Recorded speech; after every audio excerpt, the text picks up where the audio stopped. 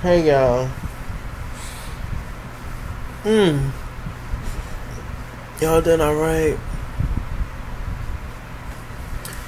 Y'all say hey to Shaquan. Her little baby somewhere, Neek Neek. I don't know where he at.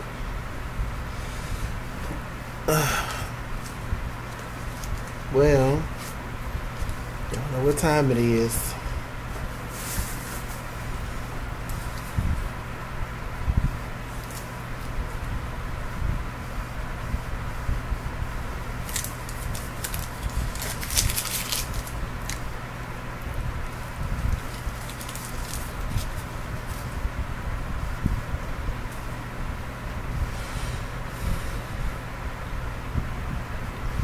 Okay.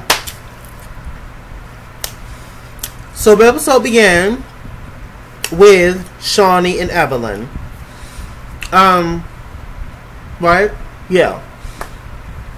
So you know they're they're shopping for uh, baby clothes and stuff. Um, it was kind of a pointless scene. I, I don't really understand why they were shopping for baby clothes. Neither one of them have a baby in their life. Really. Um Evelyn's son is three years old. He can't fit anything in that shop. So I was just like, what was the point of that scene? But anyway, um Shaunie held up some pants that looked like um you know, they had the patterns of, of, of Gucci clothes. And um Evelyn was like, No, that's not uh, Gucci, that's that's that's Hoochie. That's something that Tami would wear. Yeah, I said it. Um, what else they talked about? They talked about Evelyn. No, they talked about um Shaunie's son, uh, Sharif, I believe, which is the second oldest, um, and I believe he's the tallest one. He uh, is is moving into. He's going off to college, but he's also moving into a place with his brother, his older brother. Um, and you know, Shaunie's a little leery about that. Evelyn was just like, "Well, how do you feel about women?" And stuff because you know they're young men in their twenties, um, and you know, and you know being them being celebrities' kids, you know, them being you know good looking guys, them being you know quote unquote having money and all that. It's just gonna be women all around, and then you know he's entering college and gonna be on his own with his brother. You know, you can get away with things with your brother quicker than you can get away with things with your mother. So, you know, uh, Shaunie's just worried about that, and she's just like, Lord, you know, I hope they don't bring no babies home and whoop to whoop. She says she just, you know, hope that she instill good values in, you know, her kids, and hope that they don't go out there and do nothing stupid. And Evelyn was just like, child, you know, I got private investigators, I got everybody on the scene. Um, you know, just let me know if you really need the tea on some heifers, and I got you. Um, they did not talk about Jennifer in that scene at all. Um, moving on from that scene, Shaunie had a scene with her sons, um, and you know they were going um, for bed shopping uh, to get beds and stuff, and they don't even you know have a place yet. But of course, you know Shaunie would be the one to pay for it and stuff, and you know they could pretty much get everything they want. To be honest with you, um, so you know it looks like Shaunie's two oldest kids are gonna get a place together. You know they're gonna be fine though. They're good boys.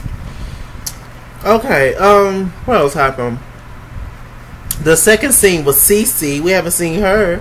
Cece, um, Malaysia, Jackie, and Christian. They went out. Um, it was drinking. You know, Jackie. You know, drinking. Um, it was some kind of little drinking function. Those drinks look real good though. I wish I would have went, child. Ooh, yes. So, um, uh, Jackie asked, um, uh, Cece wherever she was at her um, event because all the other ladies was able to make it. And um, she was just like, "Oh, well, child, that was the day that I had my birthday dinner." And Christian was just like, "Well, what was my invite? I wasn't invited." So I was just like, "Um, Christian, what show are you watching?" You and CC, you know, ain't, ain't been feeling each other for the longest, sis. Like, uh, what are you talking about? Why you didn't have your invite? You know, you was the one that had your biggest issues with uh, CC, and it was no issue at all. Um, except for you know you just trying to fit in with Jen them and all that.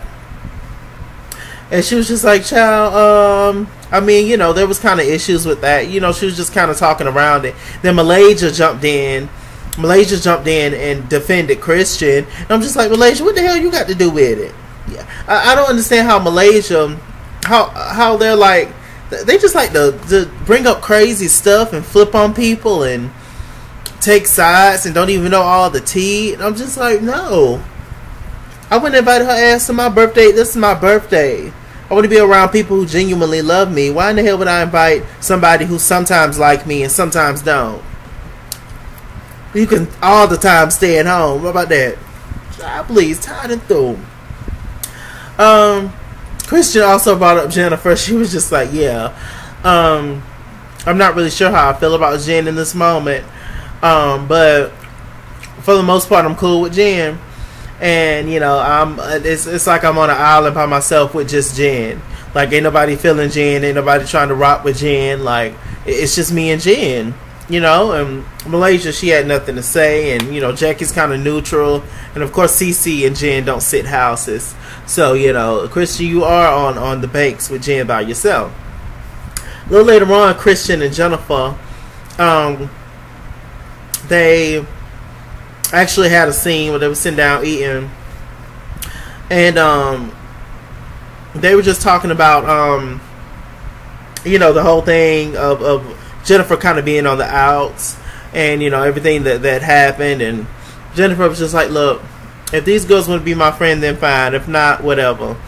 Um, you know, I definitely have some receipts as well. Christian was just like, oh, sis, you got some receipts?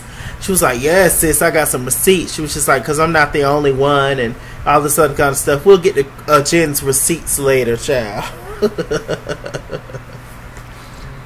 I don't have my phone right now with me. I'm just gonna reenact some things. But anyway, um, what else happened?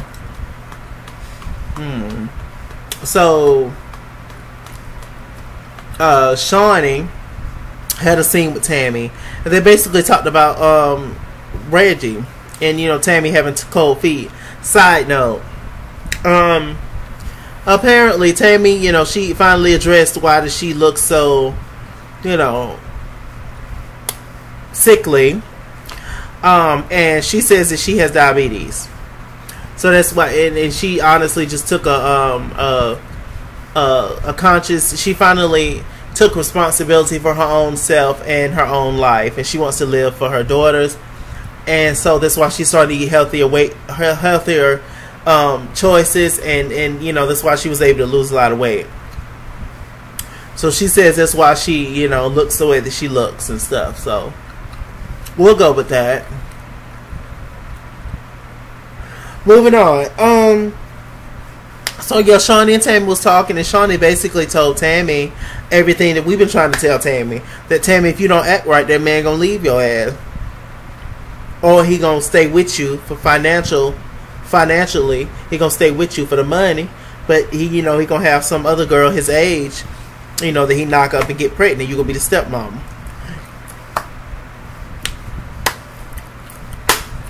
Like uh, you know hell this man to rock with you for this long. You know your ass old and rotten and stuff like child. He knew what he was getting with when he got with you knowing that you had two grown daughters most people wouldn't want to just start all the way back over. You know, some people do. I got cousins who did. They have a kid. They have another child to them. They're 20 years or so after they had their first child. I'm just like, child. I guess. But we helped them. They raised them. You know, the kids like 12 and 13 now, bad as hell. I want to take them back and put them in the uterus. Anyway, so um, yeah, so Tami was just like, you know what, you're right, you're right. So, you know, Tami's just having cold feet. She, you know, but it's it's understandable in a way, um, seeming the situation because eventually Reggie gonna want kids, but she's unable to have kids by him, unfortunately, um, or to give him kids or anybody kids for that matter. So, you know, we're praying for Tami and Reggie. I really like Reggie. Um, let's see what else happened. They also talked about Jennifer. Shaunie said that she did not. She just don't want to be around Jennifer, like straight up and down. Bruno Mars. She just don't want to be around Jennifer at all. Jennifer does nothing for her. She was just like maybe in a year or so I'll be able to talk to her. But for right now, uh, I'm just done with Jennifer. Uh, Jennifer, uh, Tami was just like, well, I'm done with that bitch for life and whoop to whoop. And, you know. Tami also left something, I believe, on Twitter or Instagram. Well, she made a comment saying that you can be there for somebody, but you find out they're fake and they don't really rock with you. A lot of people speculating and felt like she was talking about Tam, uh, Shaunie, and which I don't understand how she did not know Shaunie was fake, um, because the world knew that Shaunie was fake. Um, but like I said, that whole acceptance thing, and that was one thing that Tami got into it with Jennifer about talking about, oh bitch, you just want to be accepted. So do you, Tami. So do you. In terms of being with these ladies, you do want to be accepted. You do. You don't belong in the circle. We is the circle, and uh, you you don't remember that. Okay, that was season three of Basketball Wives, I believe, uh, with Meeka Claxton on there, darling. Um. So yeah. Um. So they talked about that, and um. Oh, Jackie, she had a PSA um, it was really nice. Um, she brought her son there, uh, little Dougie, um, her daughter there, um, Chantel. Christian brought her little cute little girl there, just as cute as a button. OG was there. You know, they was basically talking about you know gun violence. You know, um, and and you know black boys and black women and you know us being targeted, whatever by the police officer. It was good. Um, behind the stage, uh, Jackie OG and Christian, they were sitting around and talking, and Jackie didn't even realize that OG and Christian had made up at her event. So he talked about it. You know, Christian went to go talk to OG um, once she found out her brother died. Christian, her cute little girl, Christian little girl was just sitting there eating and eating and eating. I was just like, we gotta go to the buffet together, sis. That little girl was eating, she was chopping on them carrots and stuff, and I was like, I live. That's good though, because most babies, um, they're very picky about their food. They don't really like vegetables and stuff. So she, that little girl eats everything. So that's good, Christian. You got to worry about that. Whatever you cook, child, whether it's chitlins or tilapia, child, she gonna eat it. Um. So, yeah. So that was cute. What else happened? Um. It was something else that just slipped my mind. Malaysia. You know the whole um thing as to why Malaysia don't really uh, fool with the police. Um with you know what happened to her brother, and you know she explained the story a little bit more in detail, and um, basically they had the police officers had no right to kill her brother. But you know we we see this every single day, unfortunately, and um, she actually um, excuse me she actually got an officer who's like really in depth in depth in his community and in his neighborhood and you know he loves kids and all that kind of stuff she actually um, got an officer to come out and you know talk to about it. Um, and Jackie went with her. The guy walked up and she started crying, and you know it was just really sad to see somebody um, that affected by. It. He wasn't even in in uniform. He just had on regular clothes, but the fact that he's a police officer, this is what happened to her brother, and you know she's still dealing with it. So it's just a, it was a lot for her to handle. It, it, it, was terrible, and I believe she said that she shot. They were twins or something, and, and shot both other brothers. I was just like, oh my gosh. I can only imagine. God bless uh, Malaysia. Um, but she was able to talk to the guy, and you know, he seemed like a really nice man, and so you know, I don't think that we should be afraid of police officers um, as black people, or afraid just in general because it's it's hard to walk around every single day being afraid but we just need to be leery. I'll say that. And we just need to know the uh, precautions and the proper protocol to make these people feel uncomfortable, obviously, because they're scared and nervous. Some of them. There are some good police officers out there. I haven't really ran across any, but there are some good police officers out there, I'm sure, and they do get a bad rap because of a few assholes. But what would make us feel better in that moment is if those police officers that killing these black people beating the hell out of these black people and doing whatever to these black people, if they got proper punishment, meaning jail time themselves, their job taken away, not on suspension, you know, not put in detention, not ISP, ISS, but to actually have their job taken away, you know, uh, fuck with their money a little bit and, and put them in jail a while or forever if they killed them. Ain't that murder? You know, just just these people should be prosecute prosecuted and punished the same way we would be if the if the uh, roles were reversed. How many black officers do you see killing white men and women? Don't worry, I'll wait. Okay? They will hang his ass out to dry. Legit. Oh, well, I have a family. Nobody cares, sir. You killed a white man, you killed a white woman, or you killed a white boy, and you killed a white girl, and you're down. After I done did all this cooling and all this stuff, you're out. Hand me your badge. It's a mess. It was a very touching scene. It was good. Malaysia could get some kind of, you know, she she feels a little, a little, a little bit of relief, you know, like a Tylenol. Okay, so um, what else? Episode the final scene was Jackie invited all the ladies to this whole um PSA thing, uh PSA event. She she had everybody wear black. Um, it was a very nice event. Um, uh, all the ladies arrived um, Christian had a conversation with Malaysia, and Christian was just like, you know, Jen got some receipts, child. Then Shaunie came over in the tightest dress I've seen. Shaunie, in particular, she really, really tries to live out her days when she in 1998.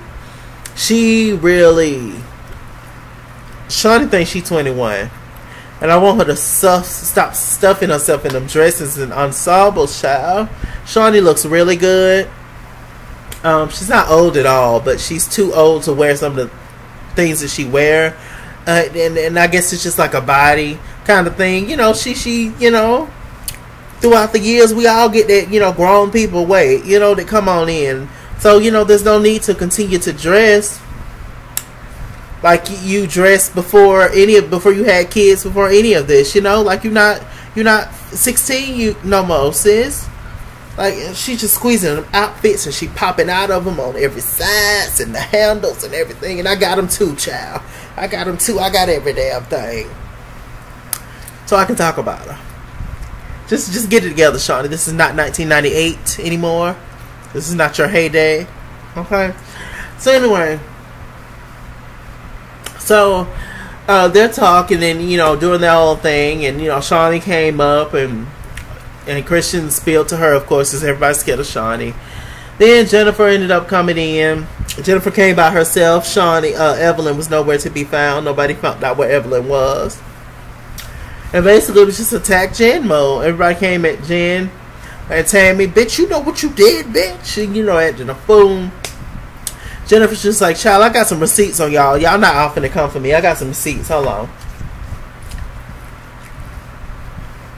Hold on. No, because I had to turn my phone back on. I got some receipts for y'all. Y'all not gonna keep coming for the queen. Uh, Tami, what day was it? The 27th. Oh. Well, hold on. I gotta put my password in. Well, mine says it stopped at the 26th, so. Well, hello, but I know it was something in there that, that y'all said.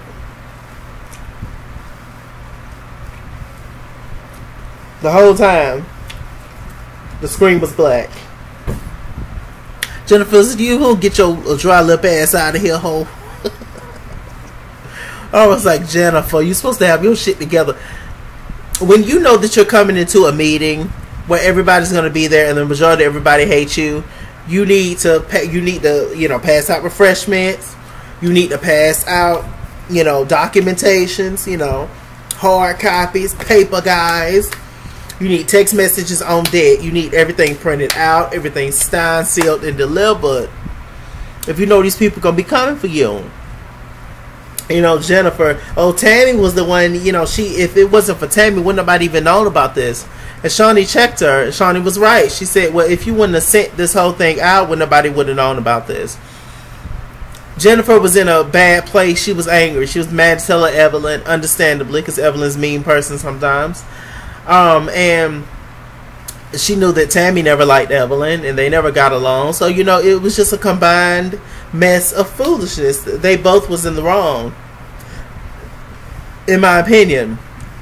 Um, but Jennifer was a little bit more wrong than all of them because she was the one that brought the whole thing up and, and created the whole rumor, so to speak.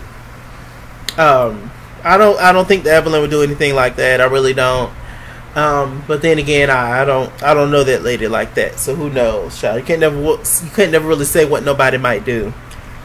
Um, but I think she wouldn't mind doing that to other women, but probably not Shaunie. You know, because she's her boss. She writes her checks. Um, that was pretty much it. Um, they holding them away, and Jennifer saying she got pepper spray and she'll kill and stab and all that kind of stuff. And um, I'm a little disappointed in Jackie because Jackie should have shut all that down and told those women to chill out. I'm putting all y'all black asses out, and it's as simple as that. Like y'all showing out at this nice event, nice professional people, white people looking at you, and you just acting a fool. This is what happens. This is how they help us doing these shows and events, child. Act a fool.